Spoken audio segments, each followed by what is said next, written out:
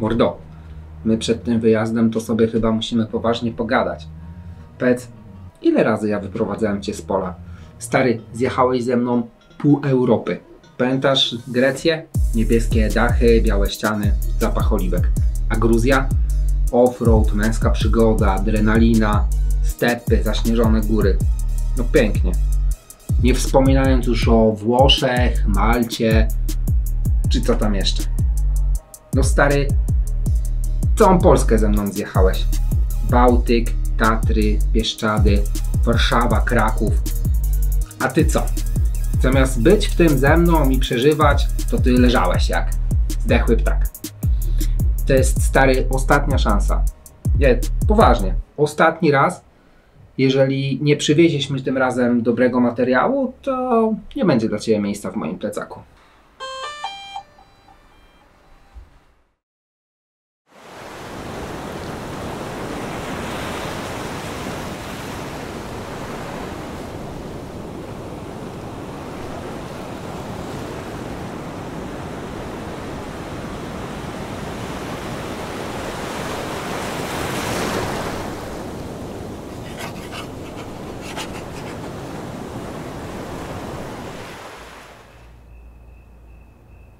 Obiecałem sobie, że ten film zmontuję szybciej niż pół roku po powrocie. I to powinno się udać. Mamy drugi dzień wyjazdu, a ja już zabrałem się za montaż. Ten materiał zrobiłem troszeczkę inaczej niż poprzednie. Nawet scenariusz sobie rozpisałem. W tym scenariuszu mam napisane, że teraz powinienem Wam pokazać, jak tu jest super. Ale najpierw opowiem Wam, o czym będzie ten film. Aby umilić Wam to moje gadanie, pokażę Wam jakieś ładne ujęcie z drona. Może być to. Wypadałoby je pokolorować, dodać jakiś sound effects i może jakąś muzyczkę. Zaczniemy od czegoś, co dla mnie jest kamieniem milowym. Mojej transformacji, w której zrzuciłem jedną czwartą swojej masy. To nie tylko liczby na wadze, to przede wszystkim zmiana, którą chciałbym zachować w tym filmie sobie na pamiątkę. Może to brzmi jak frazes, ale kto wie, czy za pół roku nie dopadnie mnie efekt jojo. Potem opowiem, dlaczego to właśnie ten kawałek świata stał się celem naszego wyjazdu. Odkryjemy razem miejsca, które odwiedziliśmy. Zobaczycie, jak wyglądał nasz plan wyjazdu, który z pasją układałem. Na finał moje osobiste refleksje i emocje, które Teneryfa we mnie wyzwoliła. Gotowi? W październiku zeszłego roku wyglądałem tak. W listopadzie trafił mnie impuls, który zmotywował mnie do działania. Zacząłem od razu bardzo źle. Dieta z ogromnym deficytem kalorycznym i niemal zerowa aktywność fizyczna. Utrata wagi była widoczna, ale nie była to właściwa droga. Postanowiłem poszukać informacji, jak to zrobić lepiej. Mocno zmodyfikowałem swoją dietę, rejestrowałem to, co jem w aplikacji i pilnowałem makro. Do tego zacząłem regularnie chodzić na spacery wieczorami. Od zwykłe maszerowanie po ośce przez godzinę lub półtorej. Kilogramy zaczęły spadać, ale wiedziałem, że potrzebuję więcej ruchu w swoim życiu. Pierwszy raz na siłownię poszedłem z Matiem i muszę przyznać, że byłem przerażony. Wydawało mi się, że jestem totalnym pizdeuszem. Nie było to moje ulubione zajęcie, a przez kilka dni po miałem problem z podniesieniem rąk do góry przez zakwasy. Osiedlówka pełna ludzi również nie była dla mnie odpowiednim miejscem. Postanowiłem więc szukać dalej.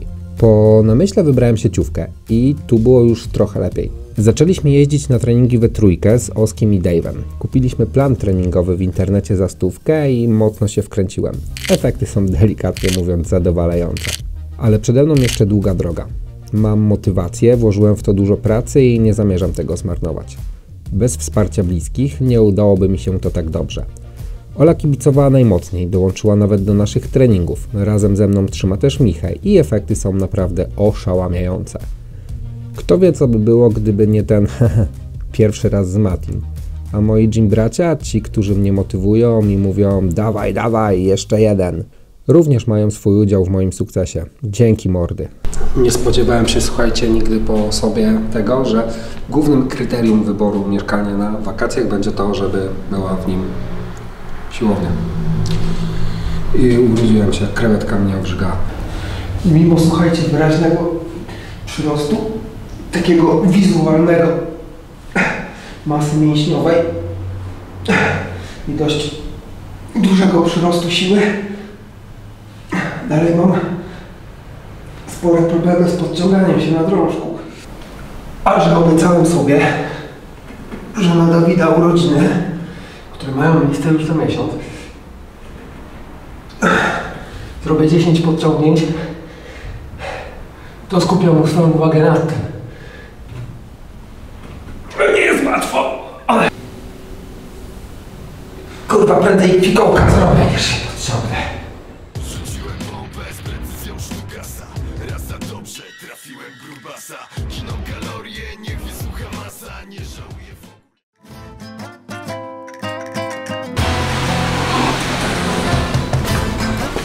Dzień dobry. Jak wiadomo, nie może być zbyt pięknie. Walczymy z kalimą, czyli z pyłem z nad Sahary. Jest cieplutko dzięki temu, ale przejrzystość powietrza taka sobie. Ale tu, gdzie mieszkamy, jest najgorzej, więc jak pojedziemy sobie gdzieś indziej, to może będzie lepiej. Będzie. Zjedmy więc śniadanko i w drogę.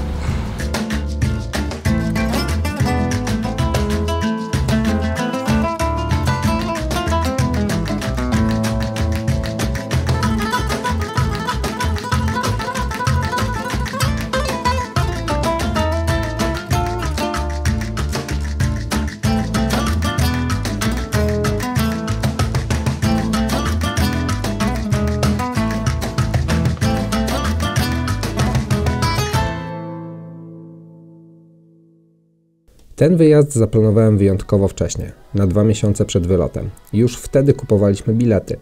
Początkowo termin wyjazdu miał przypaść na majówkę, ale fakt konieczności skombinowania opieki do naszego sierściucha sprawił, że musieliśmy delikatnie przesunąć tę datę na połowę kwietnia. Szybkie podliczenie budżetów pokazało, że to jeszcze nie jest moment na mój wymarzony przynajmniej miesięczny pobyt w Azji Południowo-Wschodniej. Rozważaliśmy także Cypr, ale Teneryfa obiecała nam lepszą pogodę.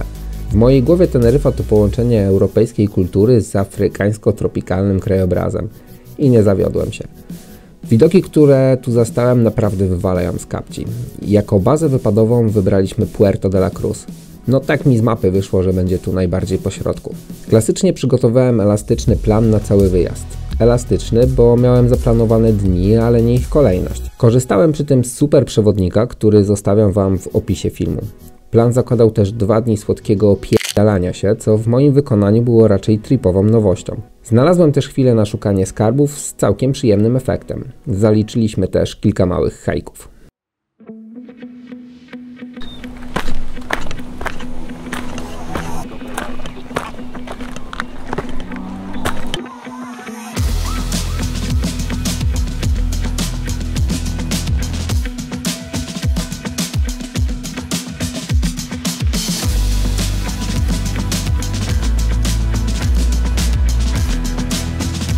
Zadowolony jesteś z hajku?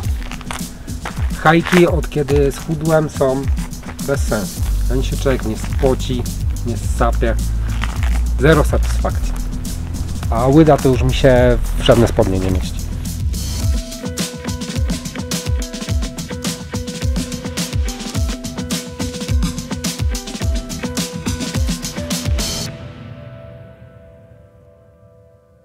Podróż na Teneryfę była jak przemierzanie stronic bajkowej księgi.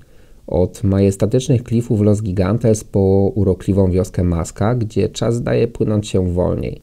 Każda z odwiedzonych plaż i malownicze miasteczka wpisały się w moją pamięć swoją unikalną historią. Słuchajcie, dzisiaj przy śniadanku, trochę z biegiem okoliczności, trochę YouTube nam podpowiedział. Oglądaliśmy podróże pana Roberta Makłowicza z Teneryfy. Odcinek opublikowany dosłownie wczoraj, więc świeżak. I opowiadał o kawie. Kawa nazywa się to Speciale. To jest kawa, która składa się z mleczka skondensowanego na spodzie. Tak, tu jest mleczko skondensowane, tu jest jakiś likier, później jest jeszcze mleczko, kawa i pianka z mleczka. I pan Robert mówił, że są e, dwie szkoły picia kawki. E, Jedni piją po kolei, tak żeby spróbować każdego smaku, ale Najlepsze jest łączenie smaków. Więc ja też zamieszam, bo chłop się zna.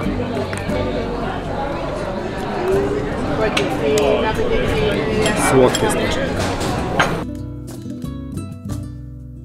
I naprawdę, słuchajcie, to jest zbieg okoliczności.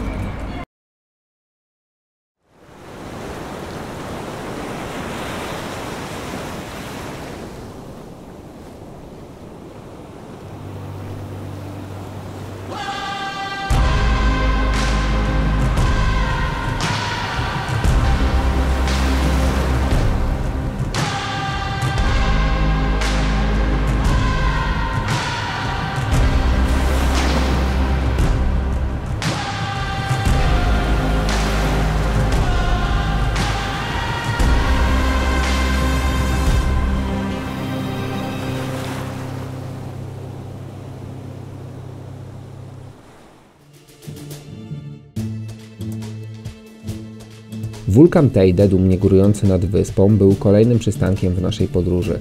To najwyższy szczyt Teneryfy i przy okazji całej Hiszpanii. Dzisiaj atakujemy Tejdę. Y, Atak to jest duże słowo, dlatego że zrobiliśmy to jak rasowe pizdeusze. Wjechaliśmy furą tu na parking, a stąd mamy kolejkę i wjeżdżamy na górę. Jesteśmy na 2300 metrów nad poziomem morza, a górna stacja jest jakoś 3,5 tysiąca. Ogólnie, żeby wejść na sam szczyt, szczyt, y, jest misja taka, że trzeba mieć pozwolenie. Te pozwolenia są wydawane za darmożkę, ale dostaje je tylko 200 osób e, na dzień. E, Kiedyś można było zrobić taką akcję, żeby wejść przed dziewiątą, czyli wychodziło się w nocy i docierało się na szczyt przed dziewiątą i można było na ten szczyt wejść. Dzisiaj niestety już się nie da, więc musimy obejść się smakiem bycia na szczycie, ale zobaczymy sobie chociaż widoczki z tych 3,5 tysiąca metrów. Myślę, że będzie fajnie. Zaraz Wam pokażę wagonik, jakim pojedziemy, bo to jest wielkości małego tramwaju.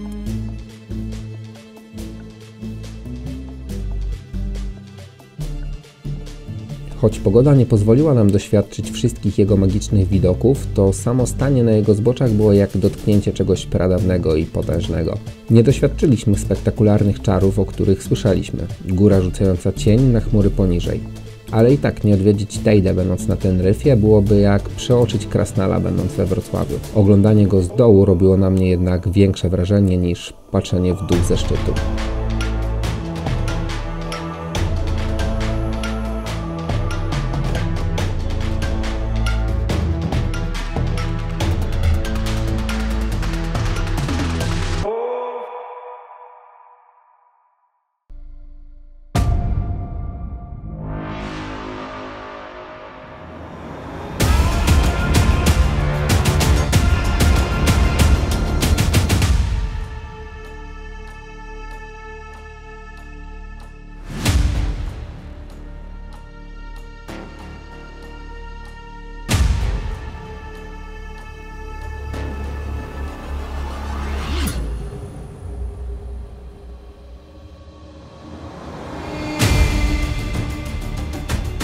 Teneryfa to miejsce, które mogłoby się stać moim domem. Zdecydowanie w mojej europejskiej topce. Nie jest jednak idealnie. Kręte drogi potrafią zmęczyć, lokalna kuchnia nie do końca trafia w mój gust, a cena za plaster żółtego sera przekracza 1 euro. Ale to właśnie klify, góry, czarne plaże, palmy i bananowce sprawiają, że Teneryfa ma swój niepowtarzalny urok. I tak oto z tą myślą żegnam się z Wami i do zobaczenia podczas kolejnej podróży.